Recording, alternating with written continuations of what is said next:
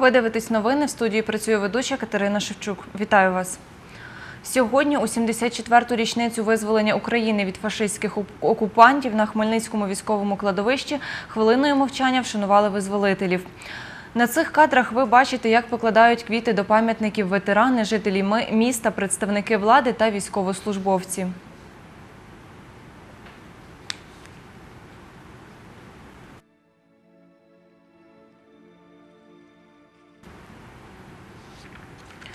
У Хмельницькому з перевізником розірвали договір після моніторингу роботи розумних зупинок.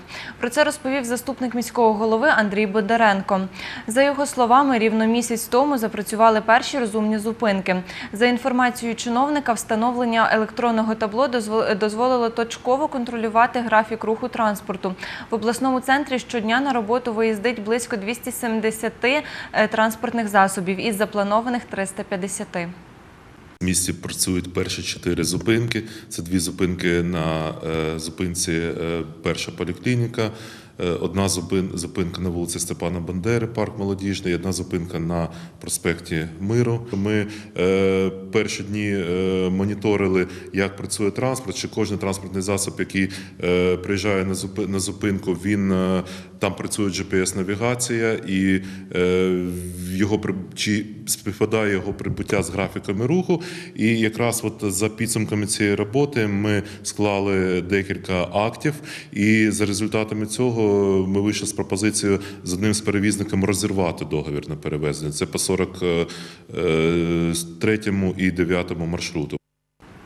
Андрій Бондаренко додає, через відсутність конкуренції та бажання працювати на ринку перевезень кількість громадського транспорту зменшилася. Е, В минулу п'ятницю закінчився прийом документів. Е, Так от більш ніж наполовину маршрутів і об'єктів конкурсу не подалося жодного перевізника. Тобто ми бачимо, що цей, цей бізнес вже не є цікавим, це вже не є бізнес. З понеділка, 29 жовтня, на Хмельниччині розпочинаються осінні канікули для школярів. Триватимуть вони тиждень. Про це повідомила Тетяна Дупляк, заступник директора начальника управління е, освітньої діяльності та організаційного забезпечення Департаменту освіти і науки Хмельницької обласної державної адміністрації. За її словами, в області є школи, де тижневий відпочинок розпочнеться пізніше.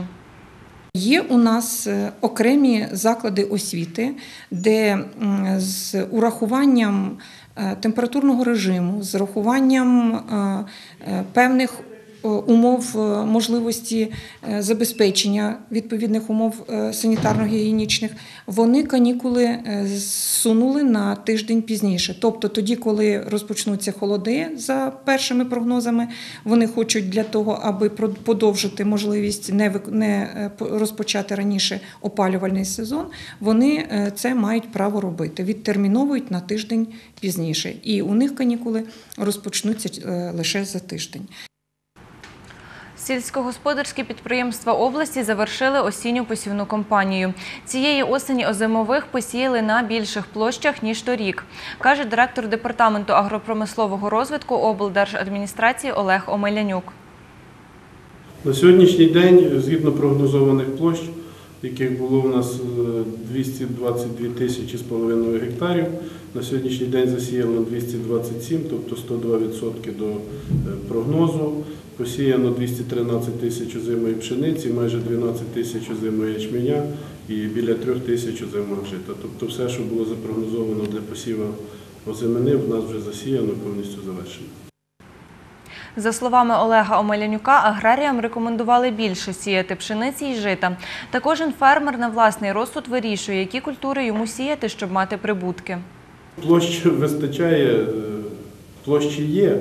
Ну, кожен господар дивиться, що він має сіяти і скільки йому, чи які залишки, чи ну, звичайно, якщо в нас на сьогодні ціну диктує ринок, то вони дивляться по площах і яку їм площу чого сіяти, чи те кукурузи, чи сої, чи пшениці. Ну, звичайно, ми більше настоїмо на тому, щоб більше сіяли пшениці, тому що люди мають їсти хліб.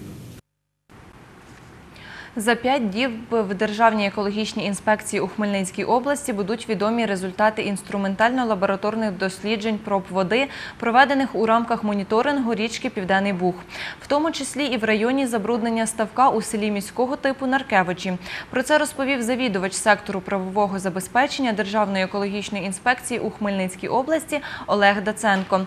За його словами, до екологічної інспекції із заявою звернулися місцеві мешканці, е, які скаржились про можливе забруднення Наркевицьким цукровим заводом місцевого ставка.